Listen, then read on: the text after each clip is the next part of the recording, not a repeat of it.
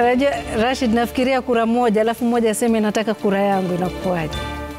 na, na, na ukiangalia sio mtu mmoja, ni kwamba wawaniaji wote kumi na sita uh ah, ameweza kuwabwaga kwa kura moja. Uh, na anafikiri ameandikisha historia sana, na inaonyesha wazi kwamba ile, ile dhana lulu ya kwamba mi siendi kupiga kura kwani nini, hakuna ah, wingi wa kura yako inaweza kuleta tofauti kubwa sana katika Kabisa. maeneo yale ya uh, wakilishi wadi wa Kinango. Tunampa kongole sana kwa hilo. Nafikiri pia tuliliona pia katika chama cha UDA katika mchujo, nafikiri kwamba pia kuna kiongozi ambaye alitangazwa mshindi na baadaye zilivyohesabiwa tena pia akabwagwa kwa kura moja. Kwa nafikiri yapo na yanaendelea, na tumezungumza kuhusu vijana na alikuwa umezungumza kuhusu vijana na michango wao, sijui Kinaga, maoni yako ni yapi kuhusiana na vijana? Maana ukiangalia katika zile kambi za kisiasa vijana wengi wameshirikishwa na ikatoa matumaini kwamba hii ndio safari ambayo vijana wamekuwa wakisubiri miaka nenda miaka rudi. Hii safari itatimia. Uh, Rashid, nafikiri uh, jambo ambalo tumeona katika chaguzi ambazo zime, zimekuwepo na pia huu uchaguzi jinsi ambavyo umeguzia ni kwamba vijana wanahusishwa uh, to the extent kama vifaa tu ama kwa kizungu ile inaitwa props. mm-hmm. Yaani ni to be seen and not heard. mm-hmm. um, na tumeona vijana wakihusishwa sana na pande zote mbili za kisiasa na si mwaka, mwaka huu peke yake but pia miaka ambayo ime, imekuwa hapo awali um, lakini hatujaweza kuona uh, mipango maradufu ya, ya, ya, ya vijana sana sana ukiangalia kwamba ukiangazia kwamba ripoti ya UNDP ilionyesha kwamba the median age hapa nchini ni 19 years. mm-hmm. So um, nchi yetu ni nchi ambayo iko na vijana wengi sana lakini mipango, mipango ambayo tuna tumekuwa tukiangalia sana atu, atu, atuangazii sana maisha yao ya sasa na maisha yao ambayo ya, ya, ya miaka ya kuja na ni kwa sababu kuna ripoti ambayo ime, ilifanywa na mm, taasisi, mo, taasisi moja um, miaka kama sita iliyopita. Walikuwa wanaangalia scenario planning ama uh, kuangalia mpangilio wa matukio yata- yatakavyokuwa uh, katika maisha ya, ya, ya awa, awa, awa, awa vijana, vijana. Na inaona kwamba uh, mwaka wa 2050 kama hatutafanya yale ambayo tunafaa kufanya leo 2050 tutakuwa na mgogoro, tutakuwa na crisis um, kubwa sana ambayo inahusisha vijana na, na uh, tuki, tuki, tuki Um, tu- tu- tu- tu- tukiona yale ambao kuna vijana wengi ambao wameweza kupita kura mwaka huu na ni jambo uh, ambalo linatufurahisha uh, lakini more importantly tunafaa ku, kuweza kuona hao vijana ambao wame, wame, wanaenda bungeni mm. Nakumbuka si bungeni peke yake, pia tumeona uh, Sakaja amekuwa elected governor wa, wa Nairobi. Uh, kuna watu, watu ambao tunasema ni vijana pia kaunti uh, zingine kama Nandi tu, mm. Steven Sang amepata, uh, amepata ku, ku, ku, Kuhifadhi. ku, ku, kuhifadhi um, uh, position yake ni, nafikiri wanafaa kupata sijui tuseme na Kiswahili ni memo, wanafaa kupata memo kwamba hawako hapo tu kwa sababu ya umri, lakini waweze kufungua milango kwa wale ambao wako wako nyuma. Vijana si lazima vijana wote waweze kuingia uongozini mm. lakini wale ambao wameweza kuaccess nyadhifa hizo tofauti za uongozi waweze kufungua milango, na jinsi kubwa ambavyo wanaweza tufungulia milango kwa vijana wengine ni kufanya vitu kama afya uh, afya bora, vitu kama elimu, kuweza kuzingatia yale mambo ambayo yana affect Mkenya wa kawaida. Juu tukisema saa zile tunasema Mkenya wa kawaida, percentage kubwa ya huyo Mkenya wa kawaida ni Mkenya ambaye ni kijana ikiwa, ikiwa median age yetu ni 19 years, yani kumaanisha Mkenya wa kawaida ni Mkenya ambaye ni kijana. So ni mambo gani ambayo yanafaa kuendelezwa ili kuweza kuimprove maisha ya vijana. So um, tunashukuru na tunawapongeza watu kama Totoo na wengine ambao wameweza kupita kura mwaka huu. Nafikiri ni, um, ni jambo ambalo linatupa matumaini sana uh, vijana juu sisi ni, ni vijana tu kama Toto, lakini tunaomba kwamba wakishafika huko bungeni uh, bunge ya kuu na pia bunge za kaunti waweze kuendeleza um, um, matarajio ambao vijana wengi wako nayo um, mambo ya elimu tume, tumesikia mambo ya HELB nafikiri ni jambo la kuzunisha sana. Saa zile unapata kwamba bado HELB ni kitu ambayo inaendelea kufuata vijana wengi nchini, na Wamere aliguzia kwamba tulikuwa na huu mswada bungeni ukapitishwa na bunge uh, rais uh, Uhuru Kenyatta aka- aka- akausimamisha. Huu ni mswada ambao tunafaa kuweza kuona bungeni ukiendelea na miswada ingine mingi ambayo ina, inaguzia maisha ya vijana ili tuweze kuona improvement katika Na lakini kuna swala labda pengine kabla uh, Mpendlulu naye pia aweze kuuliza maswali kwamba kuna kitu kimoja tukizungumza kwamba mnasema vijana ndio viongozi wa kesho mm. na ukiangalia pia katika takwimu zilizotolewa na IBC mm. vijana wengi hata kujishughulisha na masuala ya kujisajili kama wapiga kura mm. na hao vijana hao wanatarajia mabadiliko sasa hivi katika uongozi uliokuwepo. Ikiwa ushiriki kutafuta kiongozi bora mm. vipi utarajie uh, uongozi bora ima kutoka kwa MCA wako, mbunge wako, women rep wako, senator, governor na hata rais? Uh, nakumbuka na, na, na, na, mwaka jana na pia mwanzo wa mwaka huu IBC ilileta ile ikaita watu waje wajisajili kama wapiga kura, na wengi ambao walikuwa wanatarajiwa kujisajili ni vijana, haswa wale walikuwa wanapiga kura kwa mara ya kwanza, lakini hawakujitokeza.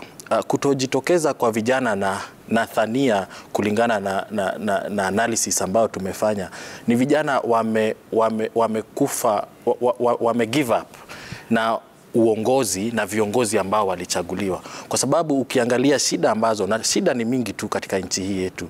Uh, vijana wanalalamika, wazazi hawawezi lipa karo, vijana wakimaliza hata wakilipiwa karo wamalize shule hawapati kazi, na hizi ni shida za uongozi.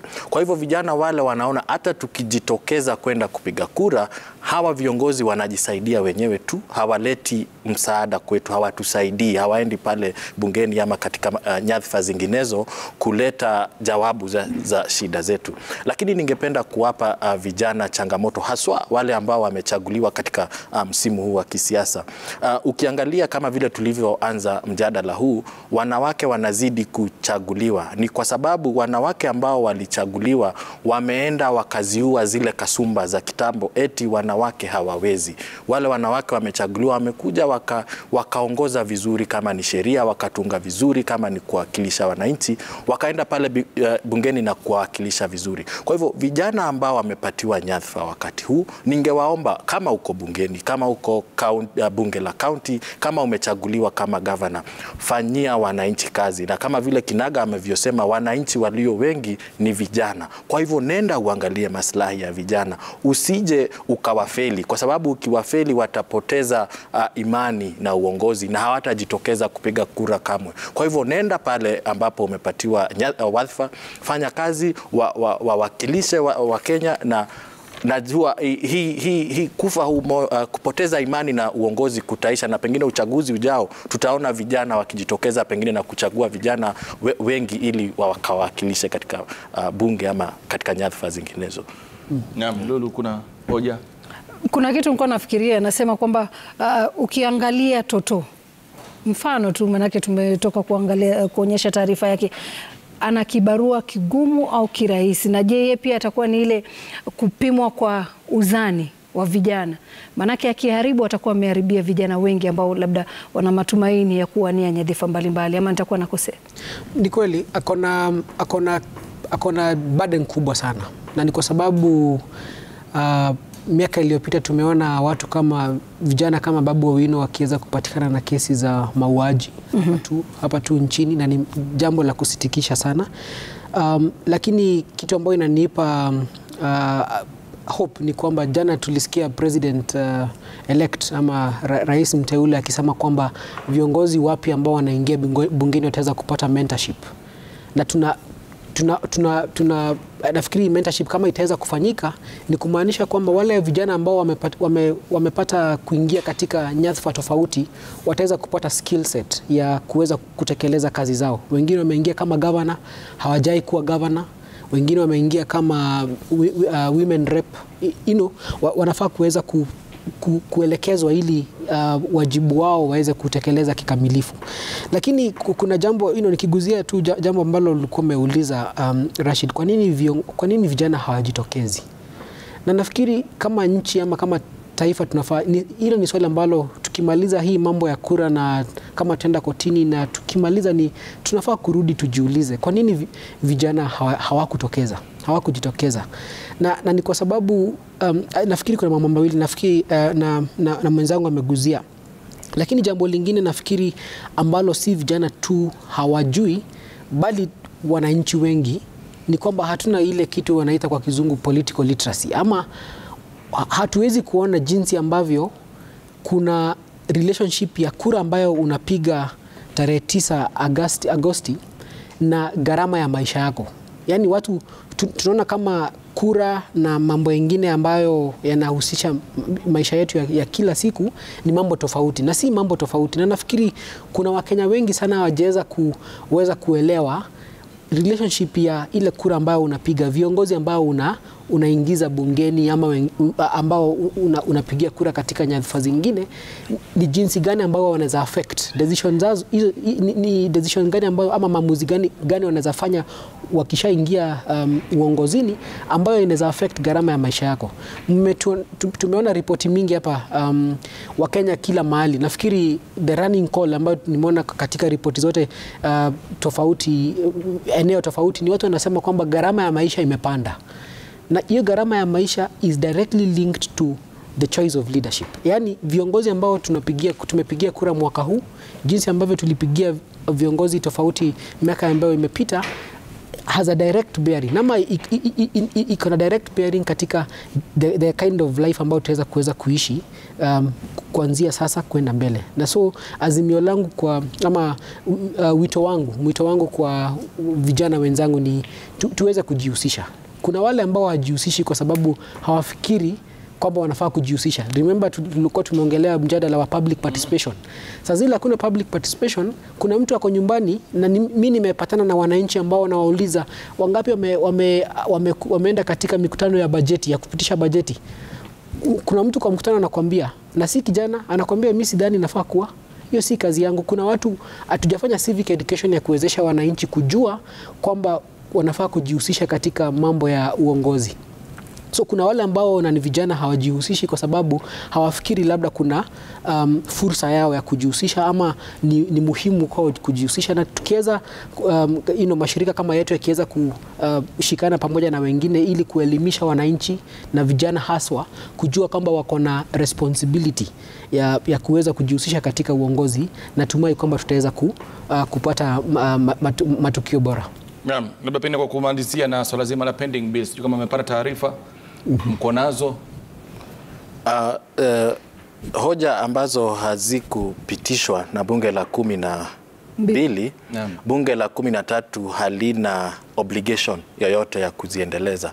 Kwa hivyo wakiamua, bunge lijalo likiamua ziishie na ziende hawana ha, ha- hakuna sheria haiwa, haiwaambii lazima wazipitishe, lakini kuna uh, bills ambazo hoja zilikuwa nzuri sana.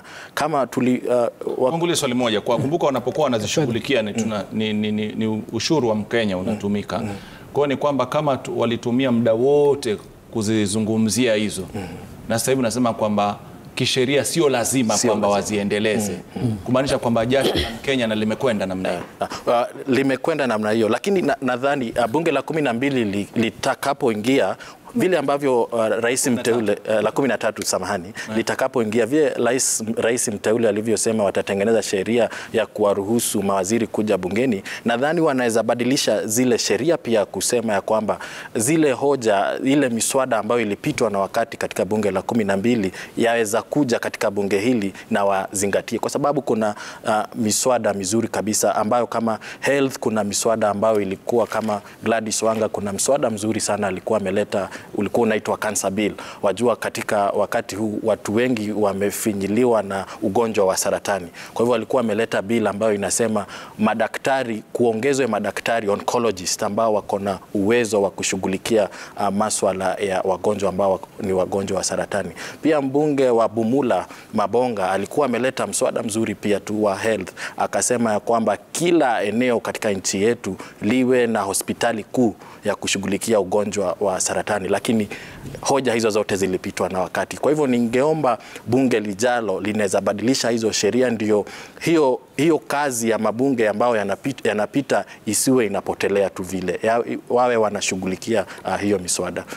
Nafikiri mm. labda naweza ongeza um, Wamera ameguzia kuhusu um, bills ambazo ziko kotini lakini ambazo hazikukamilika. Uh, Rashid, sijui kama swali lako lilikuwa kuhusu uh, pesa ambazo zijalipwa pending bills za 500 billion. Mm. nafikiri um, hizo pending bills haziwezi toka- hapo. Kwa nini? kwa sababu hiyo ni, ni watu Lazima ambao walipe ni lazima walipe. Wanaweza kosa kulipa. Uh, Kuna swali moja ni kwamba ukisema lazima walipe na huku kuna matarajio ya wananchi. eh, Eh, uh, matarajio ya wananchi ni kwamba wanataka maisha yaanze kubadilika pindi tu viongozi wetu wanaweza baada ya siku mia moja labda pengine kwa wengi wanatarajia hivyo. Na ikiwa tayari tushaipa tushaipa jukumu kwamba lazima tufidie ama tugharamikie haya mm basi huoni kwamba huenda haya matarajio ambayo Mkenya ako nayo akayakosa. Si kwamba uongozi utakuwa ni mbaya labda wa kaunti ama wa serikali kuu, lakini kwa sababu nayo hali ya gharama ya maisha na madeni yaliyopo ni mengi mno. lakini ni, ni vizuri ku- tukumbuke kwamba pending bills inamaanisha kwamba kuna mtu alipewa kazi na serikali akaitekeleza na hajalipwa, ndio maana tunaita pending bills. Kwamba ni mtu unafaa kulipa ambaye hujalipa. Na ndio maana ndiposa unakumbuka tulipopata janga hili la corona, one of the things ambazo serikali ilifanya ni kuweza kuweka mfumo katika serikali, wale ambao serikali inafaa kuwalipa na haijawalipa waweze kulipwa, kwa sababu saa zile unakosa kulipa hawa watu then mambo ya cost, gharama ya maisha inaendelea kupanda juu, watu wanashindwa kujikimu kimaisha. bado, bado ni deni. Hata hiyo ni deni. Ile ambayo wamefanya kazi hawajalipwa ni deni. na serikali ya Kenya Kwanza nilikuwa na- nilikuwa nimeangalia kwa manifesto yao, hmm. one of the things ambazo serikali ya Kenya Kwanza walikuwa wamesema watafanya, ama hiyo coalition ya Kenya Kwanza, na sasa wame, wameweza kupata huo uongozi, na tu- tu- hatujui, of course tunajua kwamba kutakuwa na tunaweza kuwa na kesi kotini, lakini Kenya Kwanza walikuwa wameweka commitment kwamba wakiweza kuingia uongozini, hii mambo ya pending bills wataappoint uh, shirika ambalo litaweza kuangalia pending bills, ni nani anafaa kulipo juu. Kwa hizo pending bills kuna wale ambao labda walileta wali- hewa na wengine na wakaleta wakaleta invoice pia pamoja na hewa, na kuna wale ambao walileta wali, wali bidhaa lakini hawakulipwa. So tutaweza ku, ku, kuangalia na, na, na tunatumai kwamba mambo yakitulia, tutaweza kupata hiyo huu mfumo ambao umeku, uliahidiwa wa, wa kuangalia mambo ya pending bills ikuwe address na ndi, ili wale ambao walipeana wali- walipeana bidhaa ama wali, wali deliver bidhaa wa, waweze kulipwa. Naam, shukran sana Bwana Kinaga Mbugwa, asante sana kwa kuja studioni. Asante. Uh, kuja kuweza kutuelimisha. Taasisi ya uwajibikaji ya jamii, shukran sana kwa kufika. Ndugu yangu pia vilevile Gitungo wa Mere kutoka Mzalendo Trust, asante sana. Najua ulikuwa likizo, lakini nakwambia uje utendee wananchi haki, kwa hiyo nakuruhusu urudi ukaendelee na likizo. Lakini ni mengi ni kwamba mbali na madeni yale ambayo tunasubiria ya kimataifa, lipo hapa la watu waliofanya kazi ambao hawajalipwa. Kwa lazima walipwe hao, alafu ndio tutoke tukalipe kimataifa. Na madeni si ya kulipo peke yake, madeni pia ni yale manifesto. Manifesto ilikuwa mingi sana siku, kwa hivyo watu wanasubiri kuona iwapo mambo yataweza kutekelezwa. Na bila shaka kunasema kwamba kufikia hapo hatuna budi ili kuweza kukamilisha mm -hmm. uh, uh, sema 2022 na chaguo la Kenya mwaka 2022. Kwa heri mtazamaji.